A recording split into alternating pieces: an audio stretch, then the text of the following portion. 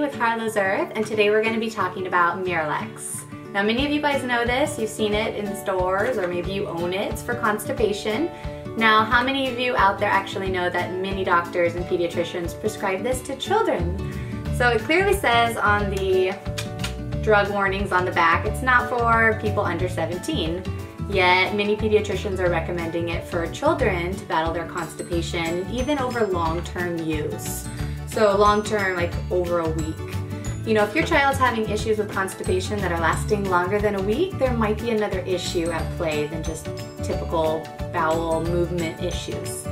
So maybe a dietary, allergy, things of that nature to start looking into.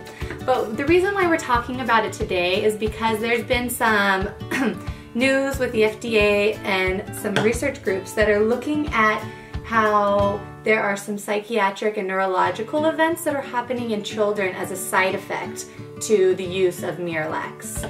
So what it says is that the FDA has received a number of reports of adverse events in children taking PEG products, which are these. The agency has conducted a review that documented numbers of reports of neurological and psychiatric events associated with chronic PEG use in children. So, other parents are claiming things like rage, depression, extreme behavioral issues after using this for long-term long-term use. So, what are some things we can do to avoid using Miralax? Let's just throw that out right now, right? Not necessary. So there's plenty of other things that you can do to combat constipation for your kids. So I'm gonna give you a list of eight of my favorite, well, actually nine, because the first one should be diet. You should be reviewing what your diet, what your kid is eating. If your child's eating a ton of bananas, they might be constipated. If your child maybe is allergic to dairy or gluten, those are some common reasons for constipation. So some other ways though, if you've already ruled those things out, you've been doing the food journal and you're still looking for a way to get rid of that constipation because it is painful when they're little, is my number one, pea foods. Plums, pears, pumpkins, other things too like dates that aren't necessarily pea. Those things help get the system flushed out. Good. Number two, fiber. You need fiber in your diet. You can do that just by adding a little bit of bran in their smoothie in the morning. Easy, easy peasy. They'll love the smoothie. They won't even notice the bran.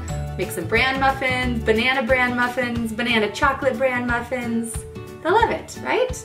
Number three, catnip and fennel extract. So you can just add either of those to a little bit of water and that's some instant tummy relief. So that really helps. Uh, number four, breast milk. So you've been storing breast milk forever in your freezer, you've got a whole freezer stocked full of it. Guess what? It has a ton of uses. Check out my other blog too on the many uses of breast milk for the whole family. This is one of them. Breast milk is so helpful with digestion. Another one is goat's milk.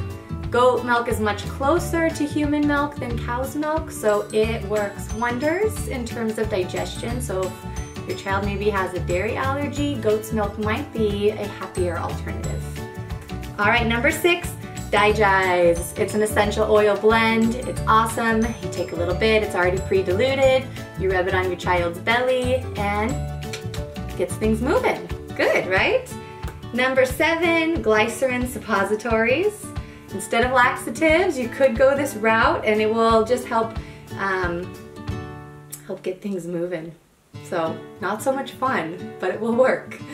And then lastly, a lot of mamas swear just by the great old Q-tip trick where you take a little bit of Q-tip and some, a little bit of uh, lubricant and you just swipe it right on the inside of their little bum and that helps to just trigger, trigger something, you'll know what. And maybe it might just be some little rumble farts or it might be a lot more, so get ready for that one. Um, I would save that one for last, unless you really, unless you just, it's your fail safe and it works every time for you. So anyway, um, remembering that children do get constipated as they are growing, as their diet's changing. So it's not something to necessarily worry about if it comes up once every blue moon, but if it's something regular, it is something good to check out with your doctor. Um, but if your doctor's um, telling you to go with Miralax, you may want to try some of these other remedies first. All right, thanks for watching. I'm Cassie again with our Tree Hugger Baby blog from Harlow's Earth, creating products that are good for baby and good for earth. Thanks, check us out at harlowsearth.com.